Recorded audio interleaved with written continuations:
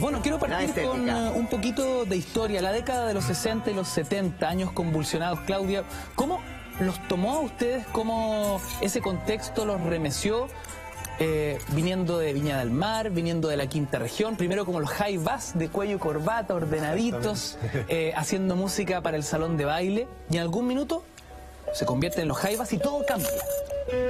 Así es, pero es que lo, lo que pasa es que el, el grupo, los Bass, como tú dijiste, con corbata y todo, eh, era para, paralelo con lo que nosotros hacíamos en- dentro de la casa. Para las monedas. ¿Ah?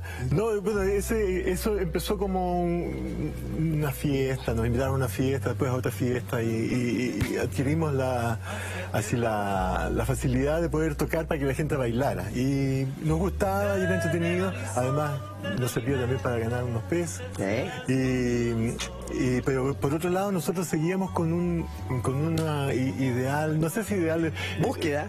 Tampoco, juego.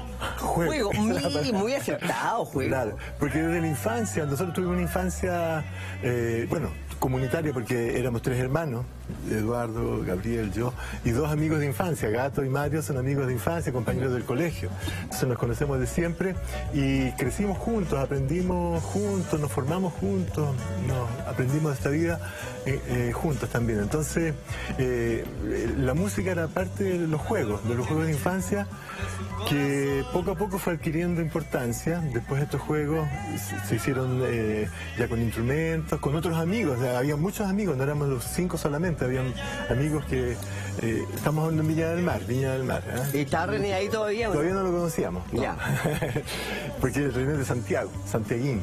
Claudio, ¿de qué forma el contexto eh, histórico que les toca vivir Sí. empieza a delinear lo que conoceríamos luego como la historia, la ética y la estética de los high? Sí, eso, eso es. Lo que pasa es que, es que, es que la- los juegos se fueron transformando, fueron, fueron madurando. Y de ahí nace la, la- la improvisación. Nosotros teníamos un piano en la casa que lo desarmábamos, lo rascábamos por adentro.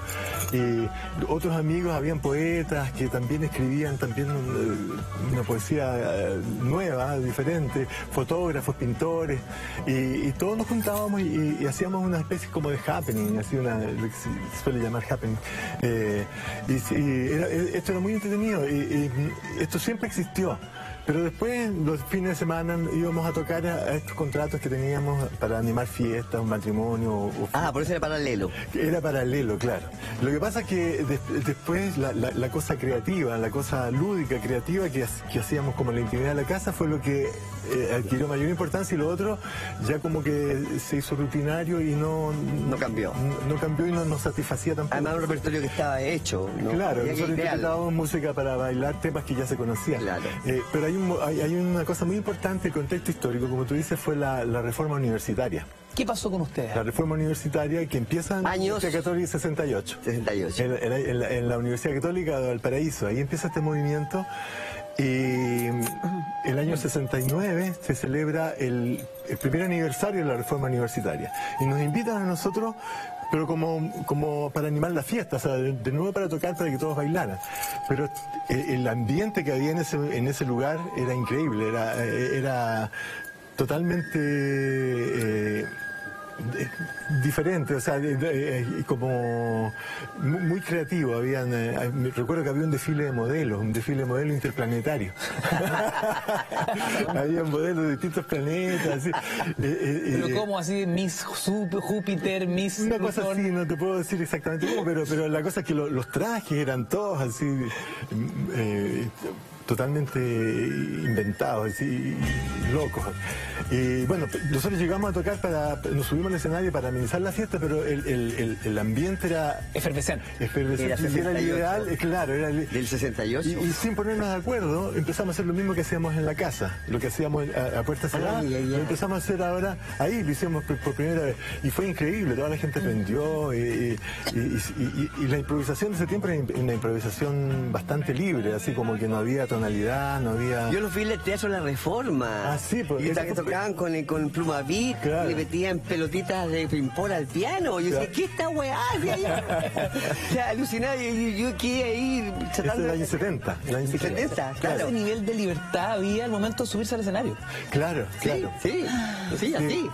Sí, eh, eh, Porque en, en nosotros hubo algo así como, como redescubrirnos, o sea, eh, eh, de, de una vuelta a, a, la, a, la, edad de piedra, un primitivismo, así como, como olvidarnos de todo y tratar de, de descubrir. Crearlo del cero. Claro. Marcar las raíces de, de, lo que llegaron finalmente, que es claro. de, de, nuestra tierra, porque eh, la, esta música sirvió justamente para, y fue un movimiento mundial, para, se llamó rock con raíces, que el folclore se fue transformando con los nuevos sistemas de amplificación y todo en una velocidad y en una comunicación que fue la música justamente la que movió todo este movimiento, todo el movimiento contestatario que hablábamos, anticonvencional.